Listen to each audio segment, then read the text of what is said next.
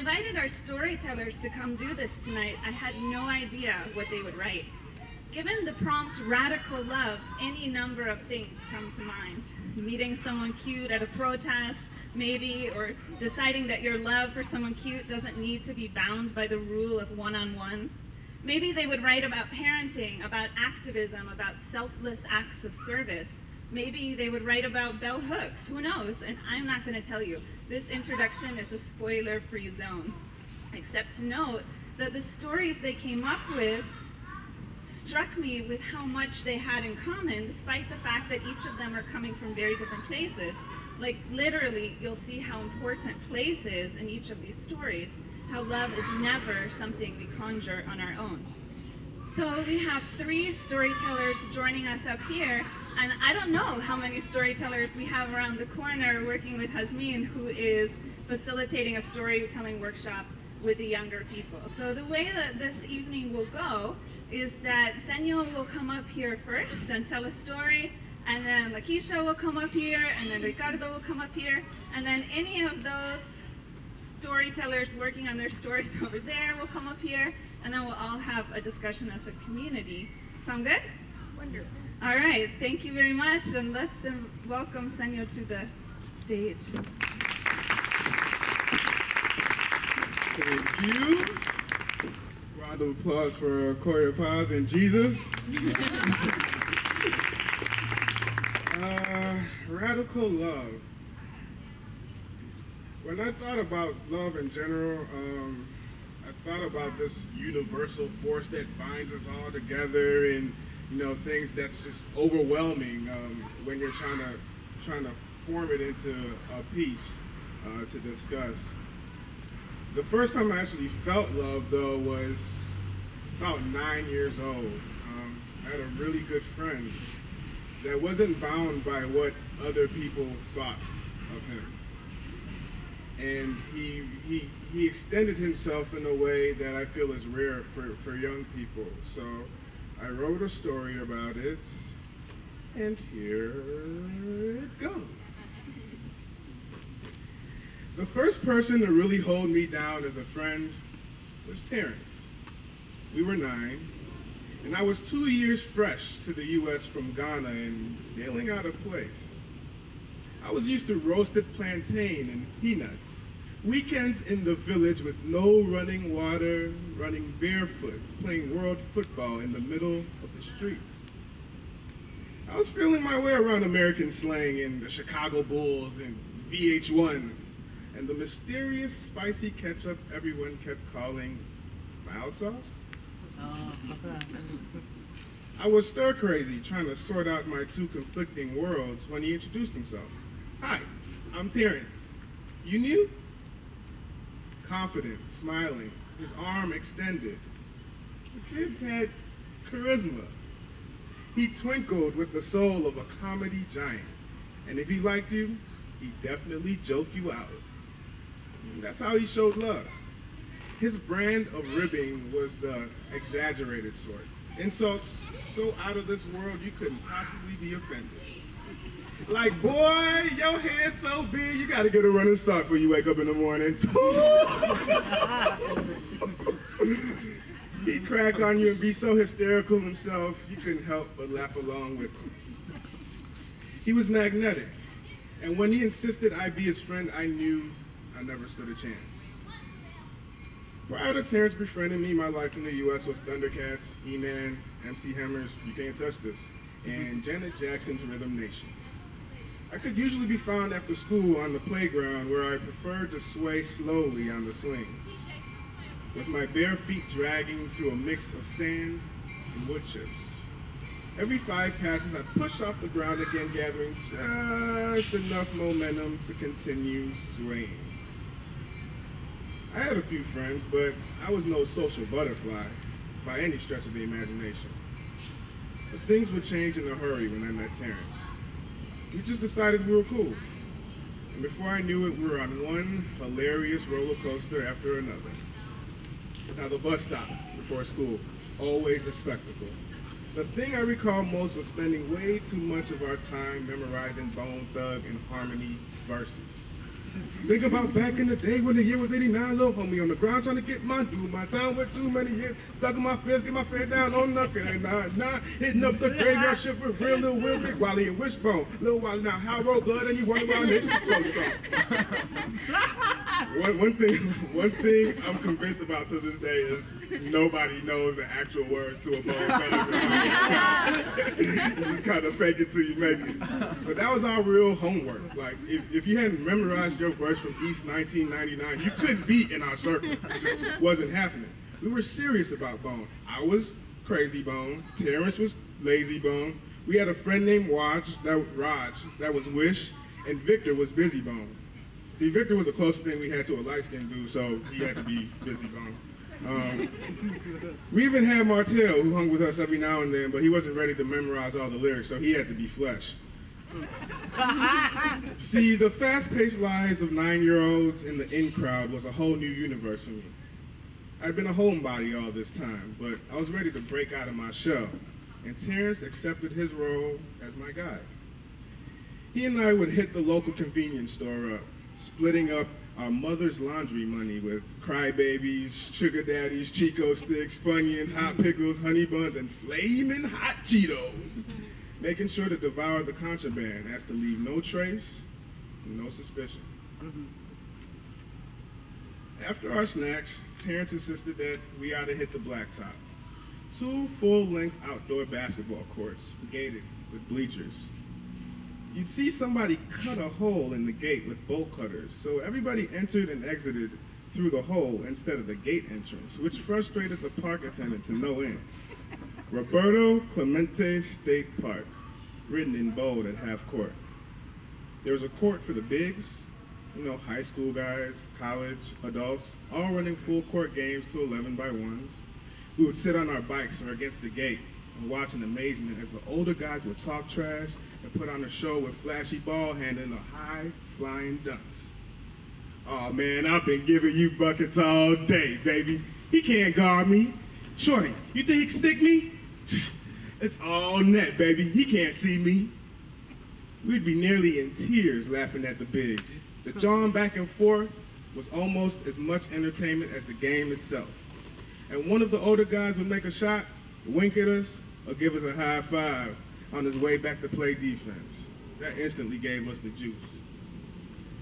Now, the court on the other side was for the smalls, middle school and under.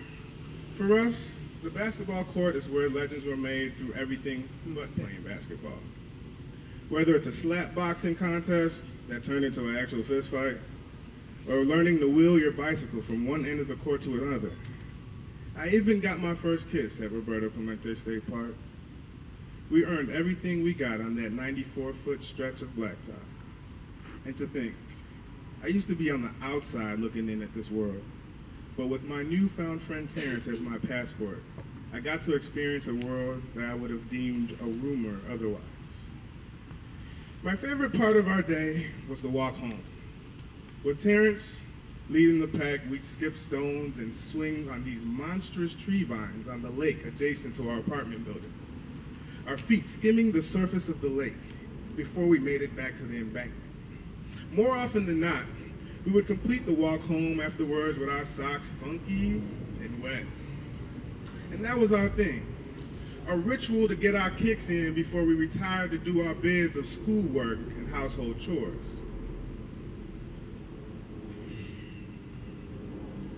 The only time I ever missed our walk was the day I served my first detention.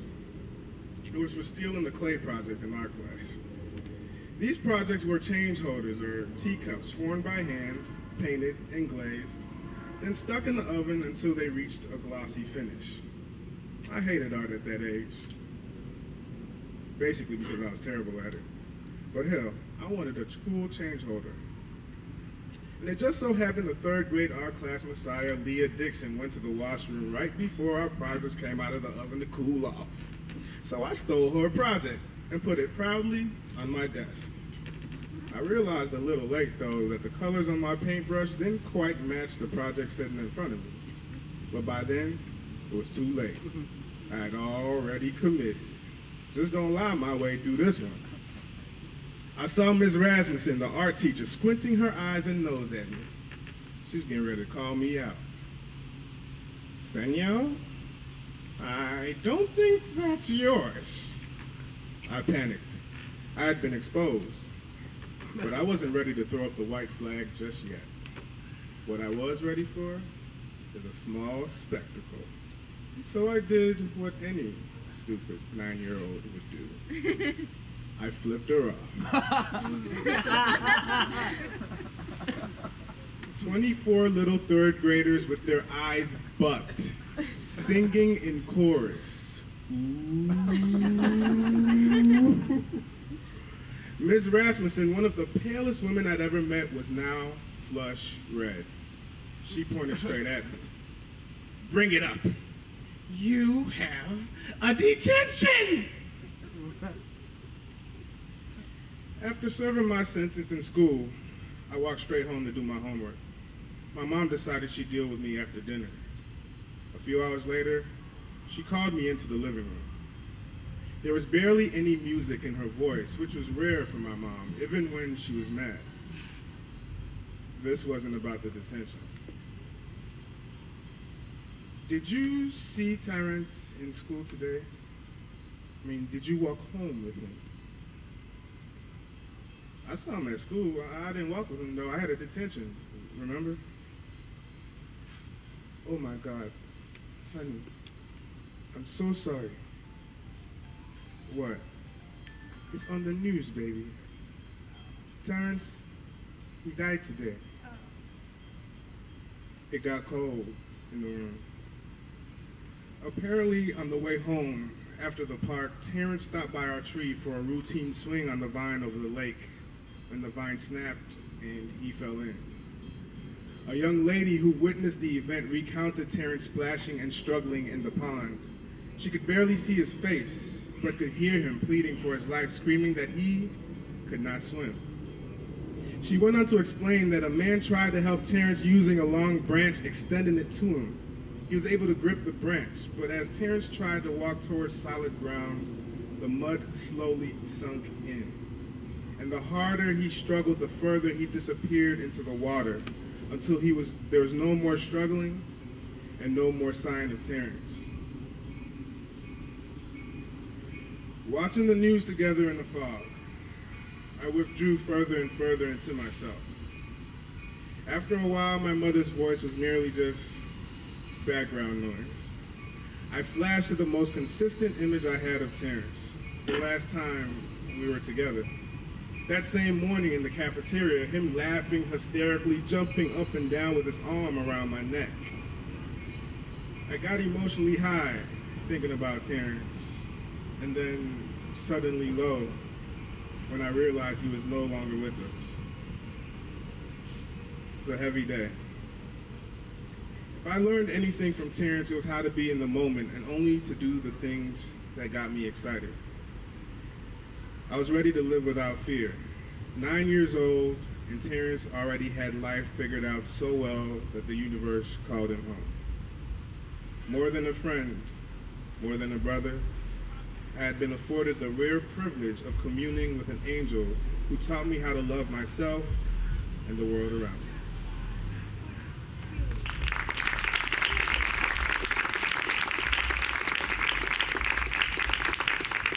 So that was a sad one, um, but there's love in it, and I think it's uh, it's inherent in the way that Terrence handled me.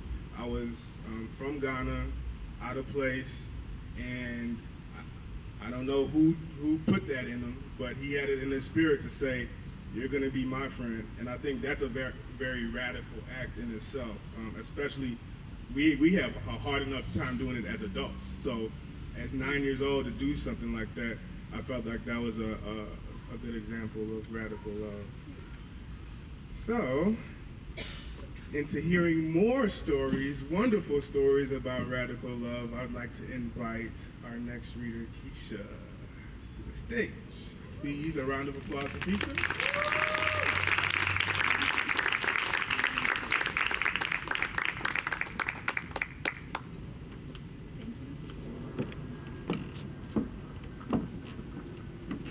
Hey everybody.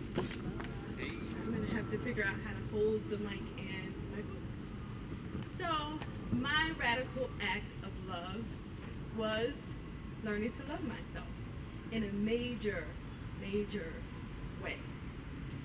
So, um, in a very freeing way. So I guess I'll start my story. Do you mind if I sit here? Can you see me? I'm a little short.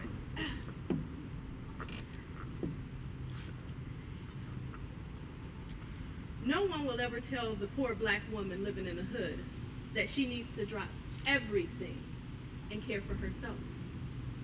No one will ever tell her that America will work you to your grave, and if you're lucky, someone will eulogize your existence by saying, yes, she was a strong black woman. She worked two jobs without insurance, graduated college with honors, raised six children, and loved her spouse of 14 years through rough times. She was an activist in her community, and she didn't kill any racist white folks in the process. now pass the hat so that we can pay for the repast and rent for another month in her absence. Most, most assuredly, no one will ever ask her, have you ever wanted to be free? Have you ever wanted to drop that sopping mop and perfectly marinated pot roast in the middle of the damn floor and go running in the streets screaming at the top of your lungs, I'm out this mother, and bet not nobody try to stop me. Well, I'm here to trigger the SOS, to wave the white flag and throw up the deuces. Ladies, our freedom has been compromised. And whether we consciously or unconsciously gave it up through marriage or becoming mothers, or maybe you, like me, never felt like you had it, it doesn't matter. What matters is the fact that we have done ourselves a major disservice. And yes, I know what I'm saying is controversial. I mean, what woman gets up on a public stage and says that at a certain point in her life, she felt a lot like Django right before he goes crazy and uses the whip to beat white slavers. Aren't we supposed to love our spouses for better or worse? And didn't we decide to birth those little darlings from our vaginas? Yeah, yeah, I've heard it all. You know, you should be grateful that people, you have, you're surrounded by people who love you. And you know those children didn't ask to be here, and there are plenty of women who want to have children and can't.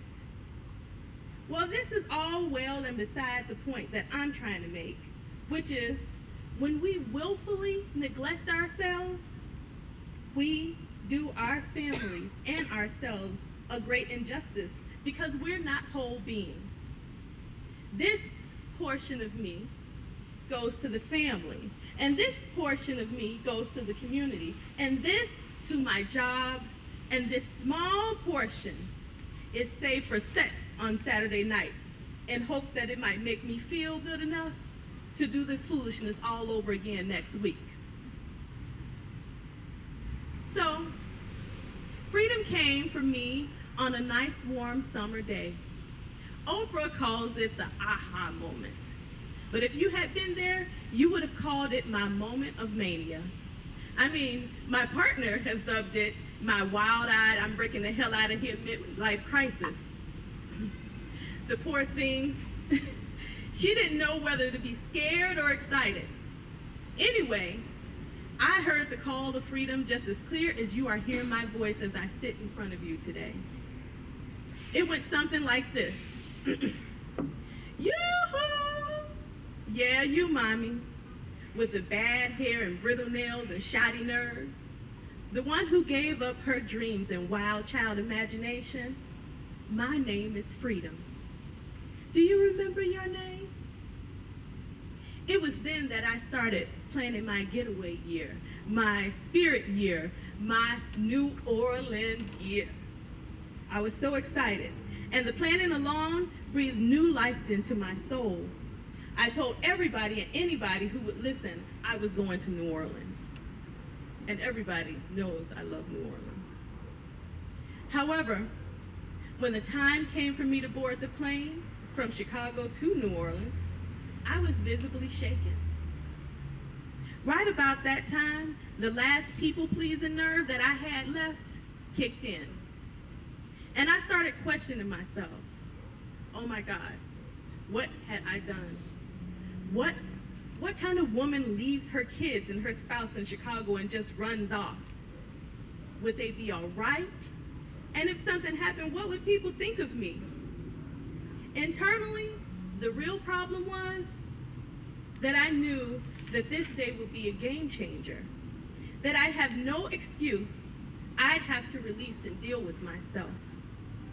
I also knew that I, once I was done with my stay there, I wouldn't be the same when I returned to Chicago, if I returned to Chicago. My radical mission was to actively heal myself and to learn to love myself again. Now, I won't pretend that New Orleans doesn't have problems of its own or glorify it as this mythic place. However, there is something to be said about going to a city where there's massive healing going on. And when I stepped off that plane, it was as if my ancestors spoke to me on that sacred ground and said, You are here, you are safe, and you can heal. Well, that's all they had to say. That's all I needed to hear. I gave myself permission to do things I hadn't done in over 25 years or ever. On Sunday, I danced, and that became my prayer and worship as I two-stepped through the streets of New Orleans to Second Lines. And I danced my version of the Bamba, my version of the Bamba in, in, um, in Congo Square.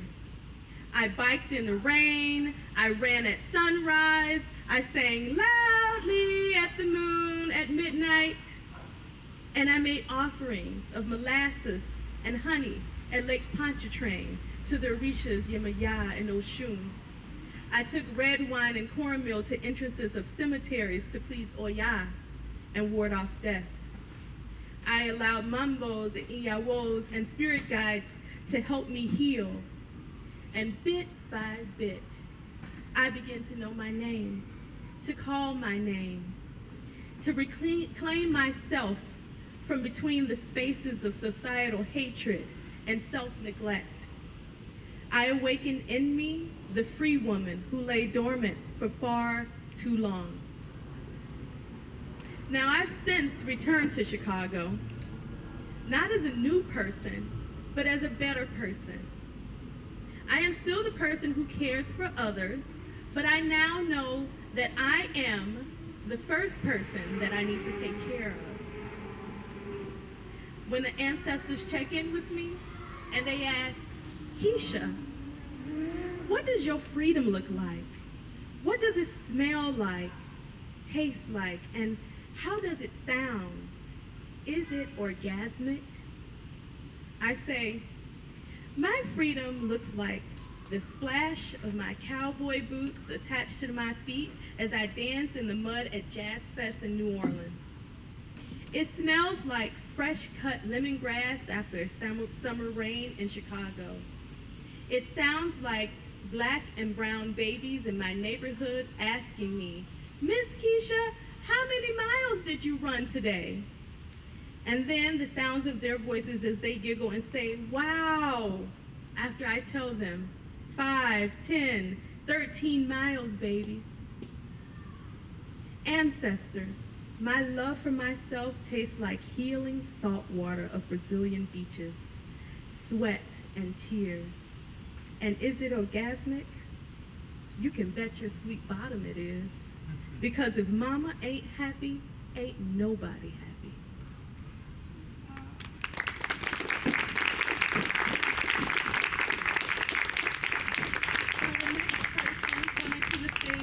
Ricardo Gamboa. Hope I'm saying that right. I'm not rolling my R's. I've been told I didn't roll my R's. So, okay, here's Ricardo.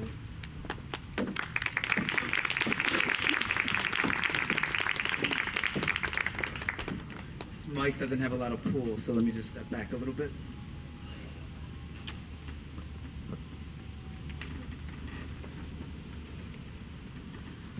I almost talked myself out of visiting Dino in Spain. I articulated my rationale just like any first year doctoral candidate of social and cultural analysis at New York University would. No, Dino, I don't travel to Europe. It's the progenitor of empire. Those colonizing nations ruined the world. My plan for the summer was to finally train at a Thai boxing camp in Thailand, in Bangkok, or touch ground in Africa, Ghana, Madagascar. It didn't matter, just anywhere on the dark continent. I was determined to do the things I missed while marooned by an abusive boyfriend for two years and a decade of the equally codependent dynamics that come with being an artist and activist. Ricky, shut up. Just come. I'll get you to Africa, Dino said. It was hard for me to trust guarantees. Once, my sociopathic ex promised to stop hitting me. Then later that night, fucked a guy in the basement of our Brooklyn brownstone while I slept upstairs. I'm serious, Dino. I'm serious, Ricky, Dino assured. We'll go to Morocco. I told myself, Dino's not a sociopath. He's a flamenco dancer. so, the day after my spring semester ended, I found myself on a plane to Spain. In three days, Dino and I worked our way from Madrid to Barcelona to Malaga and then to the coastal town of Algeciras, where ferries launched hourly to Tangier. At the narrowest point, only 8.9 miles of ocean separate Spain from Morocco in North Africa, but that short distance was closed immediately when I noticed we were the only non-Moroccans on that boat. I became vigilant about not looking or smiling too long at Dino. Look, I didn't survive the south side of Chicago just to get stoned to death on vacation by the male Muslim passenger majority on that ferry. I'm not racist. My Islamophobia was only directly proportionate to the homophobia the Lonely Planet guide cautioned we'd encounter in Morocco. We sat side by side. I remained still in my seat to prevent any movement that could be interpreted as Western homosexual infidel. And then suddenly, Dino's knee sailed beneath the borders of our armrest to press against mine. My eyes scanned the ferry to make sure no one saw. His leg hairs tickled even as his knee moved in circles against mine, but my eyes couldn't relax until they spied the woman sitting an aisle away. She was also going undercover en route to Morocco. In Algeciras, that same dark-skinned woman boarded with long dyed blonde hair on display. But right then, I witnessed those yellow inches sink into arms and fabric. She wrapped the hijab as smoothly as we glided into the port of Tangier past midnight. A few hours later, on that first night in Morocco, I realized we should have considered additional advice from Lonely Planet. The smiling man who spoke good enough English to convince us to follow him to a hotel and refused to leave our room until we surrendered the money in my wallet and one of Dino's t-shirts was the kind they warned about. Fuck, Rick Rock. I like that shirt. It was my brother's. And it was from Banana Republic. You did the right thing. We don't know what he would have done, I said. If someone steps to you and wants your shit, give it to him, kid. My mom would repeat as a tip for surviving growing up on Chicago's South Side. Even at five years old, I knew enough to trust a woman that didn't end up like her classmates in the obituary clipping she tucked between the pages of her high school yearbook. But I always wondered how my streetwise mom thought sending me outside in pastel polo shirts and cartoon dinosaur socks could be anything else on the streets but an invitation to get punked. Be a good boy. Someone hits you, don't hit back. Just run. She'd always say, and my ass ran often. The smelly, peeling pink walls of our first night accommodations in Morocco was diluted by the exhales of hash. I peeked up while puffing on our joint, and my eyes traced the curve of his bald head like they had so often on my laptop screen. For months, all we had was the internet to connect. We've come a long way in six months, I thought. Okay, that past December, our mutual friends orchestrated our meeting while we were both home for the holidays in Chicago. The next few weeks, we hit the hipster hotspots gentrification brought to my neighborhood, drove to his family's bowling alley and diner in the suburbs, and he even spent a weekend with my family when record-breaking snowfall and cold provided an excuse not to leave our house. I wish I met you when I was in a better place, He said the morning he left back to Spain, referring to his rocky recovery from his most recent relationship. I expected further contact to fly away with Dino back to Spain until a few weeks later when he messaged me on Facebook with a life altering proposition. You want to Skype? After that, our webcams brought our respective Madrid and New York studio apartments into intimate proximity nightly. Now, here we were, cuddling in Tangier, sharing a twin bed and a joint. I exhaled and softly said, I can't believe I'm seeing you finally, and not through an intermediary. There's that word again. It's a screen, Ricky. Just fucking say a screen. I laughed, then shifted in stone realization. Holy shit, Dino. We're like from Illinois. Like the fucking state. Just then, the 4 a.m. wailing of prayer calls from Tangier's minarets blaringly shot into our room. Oh my god, that means so much more right now, he groaned. It did.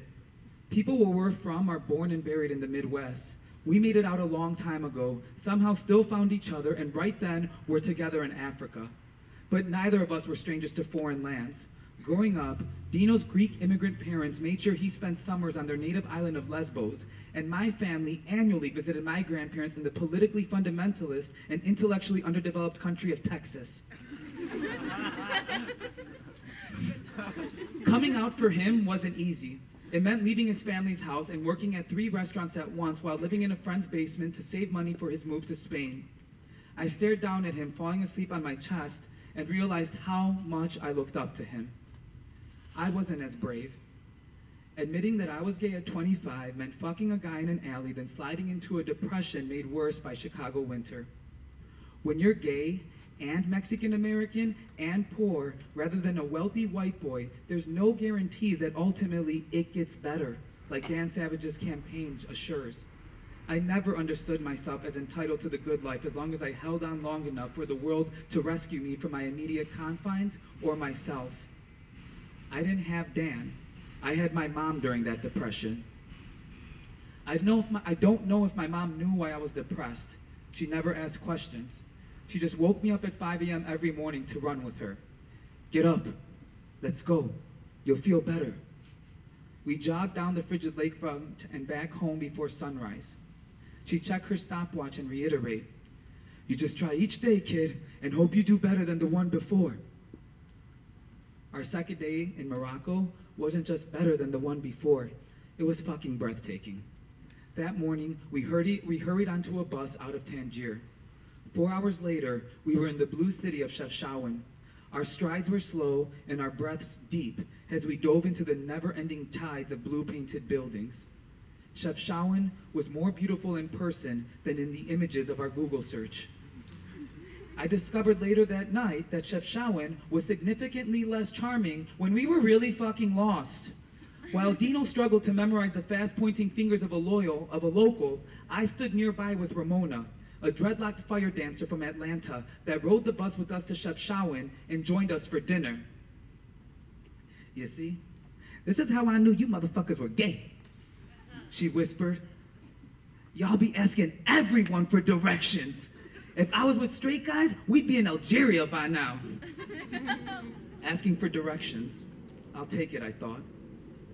My uncle Chavo was the first person to call me gay when I was about four. His claims were substantiated by my desire to wear my mom's high heels and play Eartha Kitt's Catwoman rather than Adam West's Batman. During family parties or while alone in my grandmother's basement, he'd always call me gay or sissy. I remember us alone in that basement, and staring into his tinted aviator glasses as he explained, You're a brat and a little faggot. He then marched upstairs and took my youngest uncle, sister, and cousins to the movies without me. I remember my mother's angry warnings to my father. Tell your family to keep their fucking mouths shut, Pedro, or I'll go off on them. You're a good boy. Don't listen to them, she'd say to me. You play how you want to play. That didn't happen. Instead, I learned how to play how I wanted when no one was looking. I didn't realize those moments of secreted superhero drag and prancing in Payless heels were acceptance of my uncle's teachings that some boys are not born good enough to experience the abandon, innocence, and pleasure of play. We laughed all the way back to our hotel in Chefchaouen. We threw ourselves onto the bed, ready to close our second night in Morocco when Dino rolled on top of me and whispered, I love spending time with you. I was stuck somewhere between accepting and protesting his declaration. I licked my lips and let slip. Me too. He studied my face and asked, How'd you get that scar? Which one? His finger tapped the one on my left. I explained it happened when I was seven. I ran into a wall while hurrying to lock my sister out of our house while playing our made up game that we appropriately titled Lock Each Other Out of the House. then I explained the one on my right. My ex punched me while I slept one night, sending me to the bathroom with a bloody face. How did I ever stay with someone who could do that to me? I asked my mom over a bottle of cava a few weeks after our breakup. You gave up on yourself, Ricky, she replied. Does that stuff ever come back to people like him, Mom? I asked, staring at the rising bubbles in my glass. Do they ever get their karma? Who cares? What's important is that you get to pick better if you want. You have to insist on better for yourself. That evening with my mom was the first time I realized that there was a sick solidarity in my relationship with my ex, a silent admission that maybe I too wasn't worthy of a shot to bubble up. On the morning of our third day in Morocco, Dino and I made a pilgrimage up a mountain to a mosque overlooking all of Chefchaouen. We didn't dare kiss like the young Muslim man and woman that we passed as we made our way to the terrace ledge. Though we sat a few feet apart on that wall, the security guard peered at us as he made his rounds. Let's listen to the sounds, invited Dino. What do you hear? Cars, sheep, and them. I finished, pointing to boys playing soccer in a concrete lot lodged in the mountain down below. We sat in silence.